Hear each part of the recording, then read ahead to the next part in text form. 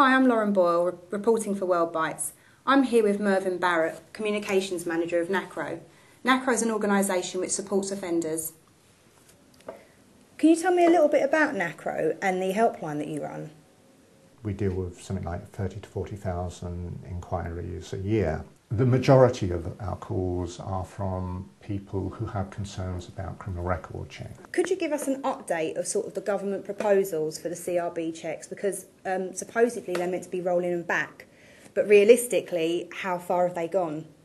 The results of the review are likely to be some cutting back on the number of positions covered by the, the scheme but that won't solve all the problems. Uh, it will still mean that people who've been cautioned or convicted of very minor offences uh, could still face the prospect of being barred. We still have the prospect uh, that people are going to end up being barred on the basis of allegations that have been made against them. I'm dealing with a man at the moment who's been barred He's already been barred despite the postponement of this scheme because he was cautioned for child cruelty. Where do you think? Child cruelty? Well, that, that individual should not be working uh, with children. He's not only been barred from working with children, he's been barred from working with vulnerable adults as well. What happened in his particular case was he chastised his eight year old son for being naughty. The um, son in question told this, his school about it the next day, and of course the authorities got involved um, and, and, briefly took the son away from the home, put him in foster care. The son kept running home to be with his parents, and the authorities eventually understood that that's where the son wanted to be. Yeah. But, but he accepted a caution and of course, as a result of that, he, the, he has now been barred from working with children and vulnerable adults. Another case involved a woman who was cautioned for child neglect. Now you think, child neglect, that's pretty serious. Um, but in this particular case, she left her three-year-old son in the care, temporary care of her very responsible 14-year-old son well, she popped to the um, shops.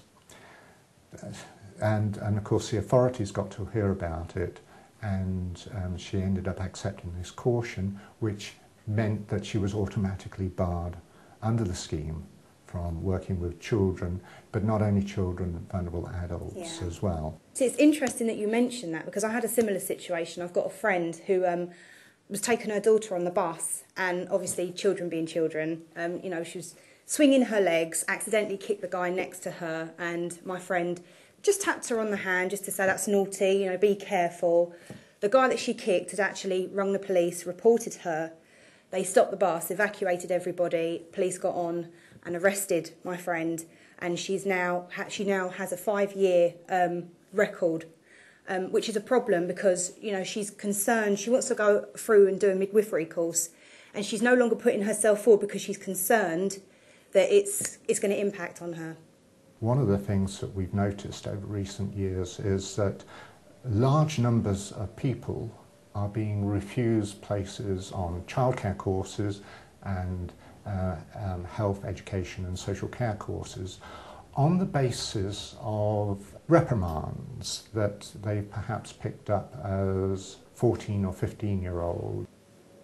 Um, and I've just been informed that you actually took a phone call prior to this interview of a person who was concerned. Could you explain a little bit about that? Yes, um, the, the person concerned was a 36 year old who discovered that she was going to have to disclose to her college that she has a conviction as a 15 year old for actual bodily harm.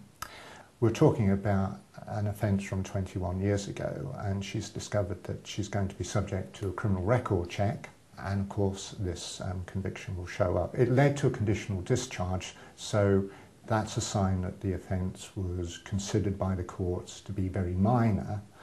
But nevertheless, the college have told her, she's doing a childcare course, she's halfway through it, the college have told her that um, unless she has a completely clear um, CRB um, check, um, she will not be allowed to continue the course. Once upon a time, before the existence of cautions, reprimands and final warnings, they would have been dealt with informally. They would have been given a ticking off. The problem with the new system is that if you are given a caution or a reprimand or a final warning, it forms part of a criminal record and it will show up in a criminal record check. Um, and we've got colleges and universities up and down the land um, these days running checks on um, people uh, wanting to do courses. And people are being routinely refused places uh, on courses or if they've started the courses being asked to leave those courses. It's happening too often I'm Yeah, afraid. yeah. Um, and um, it's something that's happening to young people it's not something that used to happen to young people in in in the days before we become so obsessed with criminal record checks. Yeah. I remember many, many years ago um, when the government published figures showing that there was something like 100,000 uh, employment related child protection checks a year. We couldn't believe it. Then, about 15 years ago, the government published figures showing that there was about half a million. Absolute astonishment. Yeah. Uh, you know, as far as we were all concerned, the world had gone mad.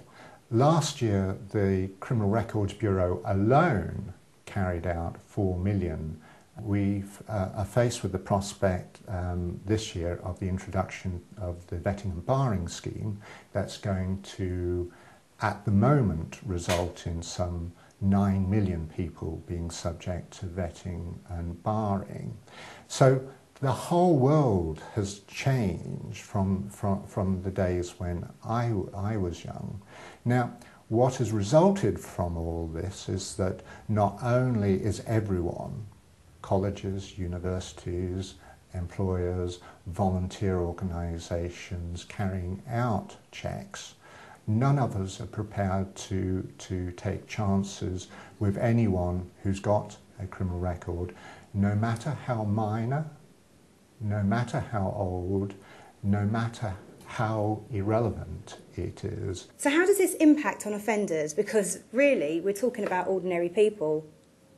Actually, I think there are going to be over the next few years tens of thousands of people in very similar circumstances. Something like three quarters of all our calls these days are from people uh, who have concerns about CRB criminal record checks uh, and in particular now the new vetting and barring scheme and um, we expect that tho- those figures and that proportion to go on increasing. Thank you for your time, Mervyn. I'm Lauren Boyle, reporting for WORLDbytes.